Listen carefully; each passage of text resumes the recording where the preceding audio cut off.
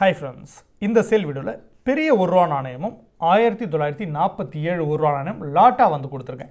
ரெண்டுமே பார்த்தீங்கன்னா ஐநூறு காயின் இருக்க மாதிரியான லாட் ஐநூறு ஒரு இதில் வந்து பார்த்தீங்கன்னா நானூறு அந்த மாதிரி இருக்கிற லாட்டு தான் வந்து கொடுத்துருக்கேன். லாட்டாகவே எடுத்துக்கோங்க ஏன்னா ஒரு டீலருக்கு கொஞ்சம் அமௌண்ட் செட்டில் பண்ண வேண்டியது இருக்குது அதனால் லாட்டாகவே வந்து கொடுத்துருக்கேன்.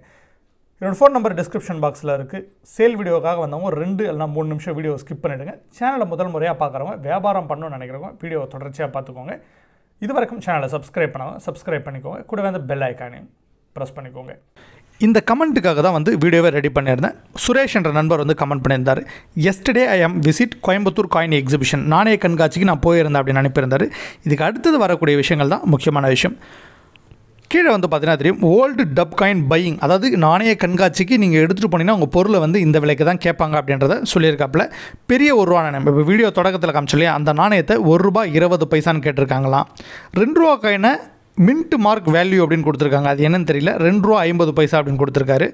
ஐந்து ரூபாய் கமமரேட்டிவ் காயின் பையிங் அதாவது ஐந்து ரூபாய் பின்னாடி படம் போட்ட நாணயங்களை ஐந்து ரூபாய் ஐம்பது பைசா கேட்குறாங்க எல்லாருமே ஐந்து ரூபாய் ஐம்பது பைசாக்கு தான் கேட்பாங்க. காப்பர் நிக்கலுக்கு தனியாக விலை கொடுப்பாங்க. நம்ம அப்படி தான் கொடுக்குறோம். அவங்க எப்படின்னு தெரியல. அடுத்தது கீழே இப்போ பார்த்தீங்கன்னா ஃபைவ் ருபீஸ் ரியல் வேல்யூ சரி ஓகே அது என்னமோ சொல்லியிருக்காரு. One rupee commemorative coin buying அதாவது ஒரு ரூபாயில் படம் போட்ட காயினை ஒரு ரூபா ஐம்பது பைசா கேட்குறாங்க அப்படின்னு போட்டிருக்காப்புல. இதெல்லாம் நார்மலாக என்கிட்ட எடுத்து வந்தாலே மூணுலேருந்து அதிகபட்சமாக நாலு ரூபா வரைக்கும் விலை கொடுத்து எடுப்பேன். ரெண்டு ரூபா கமமரேட்டிவ் நாணயங்களும் அதே விலை தான். மூணுலேருந்து அதிகபட்சம் நாலு ரூபா வரைக்கும் கொடுப்பேன். விலை அதிகமாக இருக்கக்கூடிய நாணயங்களுக்கு விலை அதிகமாக கொடுப்பேன். கீழே கொடுத்துருக்காரு பாருங்கள் are all error coin no value error coin அது. எரர் காயினுக்கு எந்த ஒரு மதிப்பும் கிடையாது. They are not buying only exhibition buyers அதாவது எக்ஸிபிஷனில் இருக்கக்கூடிய நபர்கள் ரொம்ப பழைய நாணயங்களை மட்டும் தான் கேட்குறாங்க அப்படின்னு சொல்லிட்டு சொல்லியிருந்தாப்புல. அதுக்கு கீழே நம்ம ஒரு கமெண்ட் கொடுத்துருப்போம். அதே விலைக்கு நீங்கள் கேளுங்க. அவங்க கிட்ட இருக்க மொத்த பொருளையும் நான் வாங்குறேன் அப்படின்ற மாதிரி கமெண்ட் வந்து நான் கொடுத்துருப்பேன். இன்னும் ரெண்டு கமெண்ட் இதே நண்பர் வந்து பண்ணியிருந்தார். அந்த இங்கிலீஷ் அப்படியே நீங்கள் படிச்சுக்கோங்க. நான் உங்களுக்கு டிரான்ஸ்லேட் பண்ணி அழகாக கோர்வையாக சொல்லிடுறேன். உங்களுடைய எல்லா வீடியோக்களையும் நான் பார்த்துட்ருக்கேன் நானே கண்காட்சியில் மின்ட்டு மார்க் இருக்க காயினை மட்டும் தான் வாங்குறாங்க. எதனால்? அப்படின்ற மாதிரி கேட்டுட்டு அவங்க ஃப்ராடா இல்லை நீங்கள் ஃப்ராடா அப்படின்ற மாதிரி கேட்டிருக்காங்க. யாருமே ஃப்ராடு கிடையாதுங்க. அவங்க ஒரு விலையில் வாங்குறாங்க கம்மியாக வாங்குறாங்கன்னா அவங்களுக்கு அந்த விலையில் பொருட்கள் வந்து கிடைக்கலாம். எனக்கு நான் அதிகமாக வாங்குறேன் அப்படின்னா என்னோடய விலைக்கு எனக்கு பொருட்கள் வந்து கிடைக்கலாம். ஸோ இந்த கமெண்ட் வந்து படிச்சுட்டு சரி, இது ரிப்ளை பண்ண நான் கீழே வந்து ஒரு ரிப்ளை கொடுத்துருப்பேன். அதுக்கு அடுத்தது வந்து பார்த்திங்கன்னா இன்னொரு கமெண்ட் பண்ணியிருந்தார். தயவு செய்து சொல்கிறேன் இங்கிலீஷ் தெரியல ஆங்கிலம் தெரியல அப்படின்னா தமிழில் டைப் பண்ணுங்கள் யாரும் வந்து நம்மளை கேள்வி கேட்க போகிறது கிடையாது. இந்த சேனல் வந்து பார்த்திங்கன்னா முழுக்க முழுக்க தமிழ் புரிஞ்சு தமிழ் மட்டுமே பேச தெரிந்த நபர்களுக்காக ஆரம்பிக்கப்பட்ட சேனல் தமிழில் டைப் பண்ணுங்கள் சரிங்களா? தமிழ் தெரியல தங்கிலீஷில் டைப் பண்ணுங்கள் ஏதோ ஒன்றில் டைப் பண்ணுங்கள் ஆனால் மற்றவங்க பார்த்தா படித்து புரிஞ்சுக்கிற மாதிரி வந்து டைப் பண்ணி அனுப்புங்க. இந்த சென்டென்ஸ்லாம் பார்த்தீங்கன்னா எனக்கு ரொம்ப கன்ஃபியூஸ் ஆகிடுச்சிங்க என்ன சொல்ல வராருன்னே தெரியல. எதனாலன்னு சொல்லிட்டு இந்த கமெண்ட்டை பார்த்தா உங்களுக்கு தெரியும். முதல் சென்டென்ஸில் பார்த்தீங்கன்னா தெரியும் மின்ட் மார்க்கை மட்டும்தான் எக்ஸிபிஷனில் வாங்குறாங்கன்ற மாதிரி கமெண்ட் பண்ணியிருந்தார். ஆனால் இந்த கமெண்ட்டில் பாருங்கள் மின்ட் மார்க்கை வந்து வாங்க மாட்றாங்கன்ற மாதிரி கமெண்ட் பண்ணியிருக்காப்புல. அப்போ எதை நான் எடுத்துகிட்டு எதுக்கு நான் பதில் சொல்லணும்னு சொல்லிட்டு எனக்கு தெரியல. பெரும்பாலும் நான் கமெண்ட்டுக்கு வந்து ரிப்ளை பண்ண மாட்டேன்.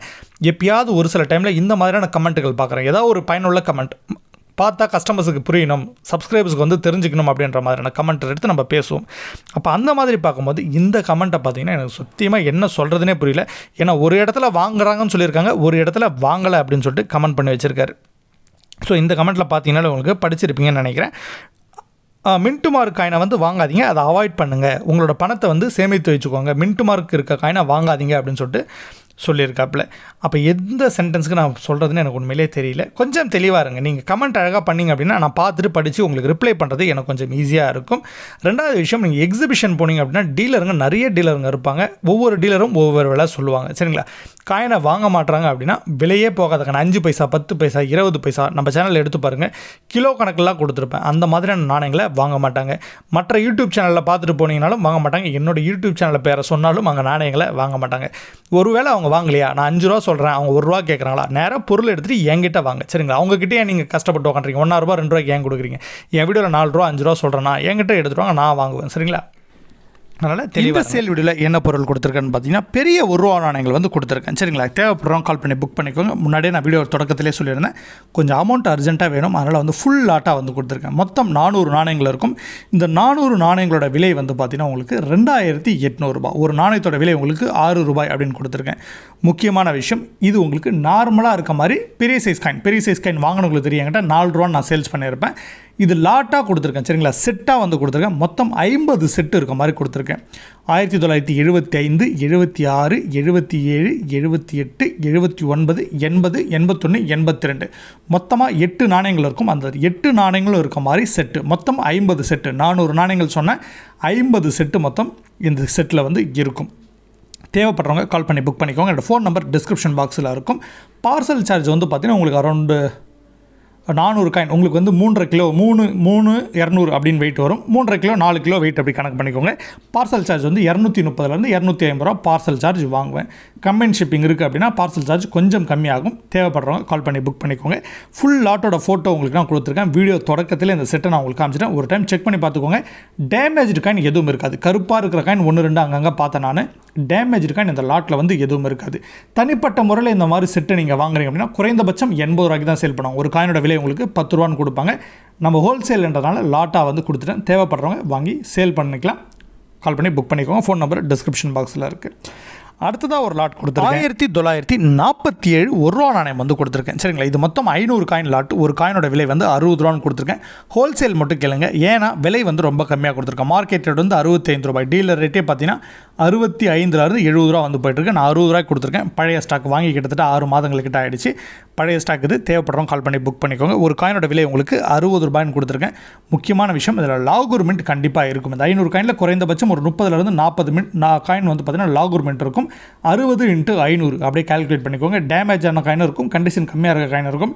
நல்ல கண்டிஷனில் இருக்கக்கூடிய காயின் இருக்கும். லாகூர் மின்ட் உங்களுக்கு கண்டிப்பாக இந்த லாட்டில் இருக்கும். தேவைப்படுறவங்க கால் பண்ணி புக் பண்ணிக்கோங்க. மொத்தம் ஐநூறு நாணயங்கள் இருக்குது சரியா? எனக்கு பேக்கிங் வேலை கொஞ்சம் ஈஸியாக இருக்கணும். ஏன்னா பேமெண்ட் வந்து நாளைக்கு மதியம் என்ன பன்னெண்டு மணிக்குள்ளே பண்ண சொல்லியிருக்காங்க. அதனால் கொஞ்சம் லாட்டாக எடுத்திங்கன்னா ஈஸியாக இருக்கும். அந்த லாட்டோட ஃபோட்டோ உங்களுக்கு நான் கொடுத்துருக்கேன். இது முதல்ல கொடுத்த லாட் இது. பார்த்தா உங்களுக்கு தெரியும். கடைசியில் இருக்கிறது வந்து சொல்ல மறந்துட்டாங்க.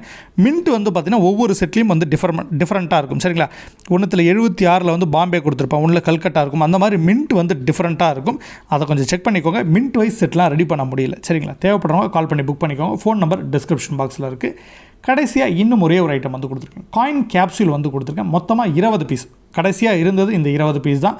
இதுக்கப்புறம் பல்காக ஒரு ஸ்டாக் எடுத்துருக்கோம். அதாவது நூறு பாக்ஸ் ஒரு ஸ்டாக் வந்து எடுத்துருக்கோம். அதோட ரேட் வந்து ரொம்ப சீப்பாக வந்திருக்கு.